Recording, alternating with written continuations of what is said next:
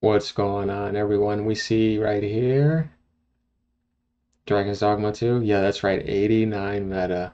Man, Capcom is just, said God tier, staying on fire. Them and Nintendo, I swear, when Nintendo is, you know, the pioneers, the masters, because they have their consoles, and they're just God tier, leading the entire industry, first party. And over in the third party, you got Capcom at the top, just dominating in Japan. They're just carrying hard. This is non-stop epicness coming out of Japan. I mean, they they're just they're too good. Um, but looking at this, we see 89 OpenCritic. We're gonna do Metacritic too. Uh, OpenCritic just combines all of them into one, where Metacritic separates different branches. Um, so you want to look at both, and that's why I'm showing this to you guys. But you see, there's 60 reviews here to see that. Um, and I'm going to cover frames per second, all of that. Guys, I started this channel about five uh, weeks ago. I appreciate this help. This helps. Uh, getting back to the epicness. Huge day today, right? I mean, that Dragon Ball Budokai Tenkaichi uh, 4 or Sparking Zero uh, reveal was amazing. If you guys can see that, check that out. Uh, but Eurogamer gave it a 5 out of 5. Okay, they don't give too many perfect scores, guys. So this is saying a lot. They rate pretty intense. GameSpot 9 out of 10. We see that. Sixaxis 10 out of 10. Uh, and 95% critics recommend Dragon's Dogma as like, you know, yeah, we really want you to get that. Um, so let's take a look at uh, Metacritic real quick. PC version is at a 90. Um, and it has 30 reviews. That would make sense. Let's take a look at some of this. Dragon's Dogma 2 boldly stands as a giant of the open world genre that dares to defy existing conventions and expectations. It's courageous effort that is rewarding as it is deep. 80 hours in, I still feel as though I have barely scratched the surface of what's to offer. Its abrasive player experience demands you abide. Excuse me. Uh, I still feel as though I've barely scratched the surface of what's on offer. Its abrasive player experience demands that you abide by its rules of engagement. Comply, and you will be rewarded with one of the most engaging fantasy RPGs ever created. Dragon's Dogma 2 is a masterpiece. It is an unmissable title that not only asks for your respect but demands it.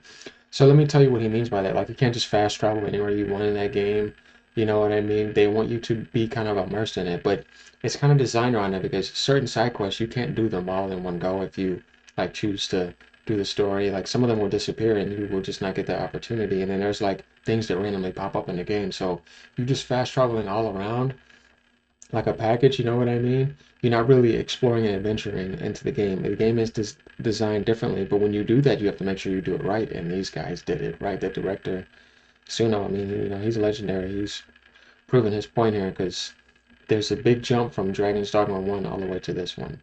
And just in general, Capcom is doing well on every franchise recently. They're just knocking it out the park. So yeah, there's some things like you can't just do whatever quest you want at any time. You can't just fast travel, you know, anywhere in this game. There's some things that are different, so that's what he means by that. But they did it, you know what I mean? You're not gonna just do that and not know what you're doing. RPG site Dragon's Dogma 2 is an absolute triumph in nearly every sense of the word. It's a bold and brave leap forward for RPGs, inviting you to come along for an unforgettable journey that will be uniquely yours. I can definitely say that that's definitely going to happen.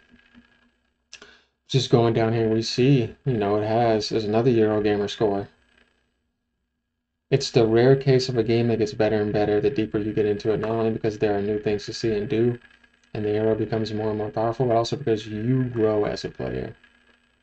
So, MMORPG, they spent over 90 hours in the world, finding it to be a masterful example of how exploration and adventure should feel. Yeah, like, you know, real adventure. If you're just traveling all around the place and going to markets, it's not really adventure. Adventure should have a sense of danger and an unknown aspect to it. Because you're adventuring, you don't know where you're going, you know, necessarily and you're going to be exploring some things you know that's what adventure is people have to understand that you know it means a sense of unknown and a sense of danger a sense of all sorts of things where you just you don't know what's going to happen but it's going to be worth it. Offering an immersive world to explore and conquer. Rich lore engaging gameplay and expansive world. The sequel has captivated and immersed me in a world of fantasy and an intrigue that only a few cult fans experienced in its predecessors. Whether ba- battling fearsome monsters or unraveling the mysteries of Gransys, I found myself drawn to a journey of epic proportions one that I expect will leave a lasting impression long after the final credits roll. So gather your party, sharpen your blades, and prepare to embark on an adventure of a lifetime in the world of Dragon's Dogma 2. But just going down, we we you know we see that uh, people are saying positive things. And if you guys want to look at another uh, console,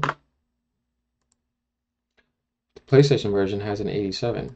I would expect the PC version to be slightly higher too. Uh, you can play at 60. It's the same experience though, you know, it's not like the development is any different. The only difference is that you could play at a higher experience. So 60 frames per second or being able to even go higher than that at native 4K with other enhancement on will probably make people feel like they're playing a, you know, a 90 experience. But at the end of the day, we know, you know, that this is epic. That this is a 90 plus game, you know. Going down here, Eurogamer, a huge improvement over the original and a captivating journey from beginning to end. You would want to read more on their review to kind of see that. if you guys are curious about FPS, if you have an Xbox and a PlayStation, you don't have a PC, well, I got this for you uh, covered right over here. Colt Eastwood said Dragon's Dogma 2 on the Series X runs at an average 6 frames higher than PlayStation 5, staying closer to 40 frames per second in combat on the Series X, while PlayStation 5 sits closer to 30, sometimes under. So the 6 frames just like, you know, nothing's not going on and, you know, it's fine, but when stuff hits the fans, Series X has a 10 frames per second advantage and it never dips under 30. You don't even do that. It stays up to FPS. The math, the math difference between the two should show this. I've told people before, and this is not an argument, guys. We're not arguing about math here. Mathematically, the Series X is, is more powerful, has uh, better RAM, better CPU, and better GPU. If the difference is not shown, this is not a math issue. This is a development issue, Are people just trying to bulldoze PlayStation settings onto the Series X. You know, uh, and a lot of people just didn't understand that at first. They're sitting here saying it's running better on PlayStation 5. I said, yeah, because it's a, the developers are doing that. They probably don't want to, uh, you know, spend extra money if Microsoft's not paying them to do that. But if you think the PlayStation 5 is a better console than Series X, then you just don't understand how math works. This is not about it selling more or anything. We're just talking math here and the math difference. If I had a PC that was 20% uh, more powerful than the other one and it's running less than the one that's not 20% more powerful, then there's some issue going on with some coding or something, you know, uh, in the development. Because the math is just telling you that it's more powerful. So we're not arguing about math here. What we're going to look at is development. And that's the end of that discussion. There's nothing else to talk about there.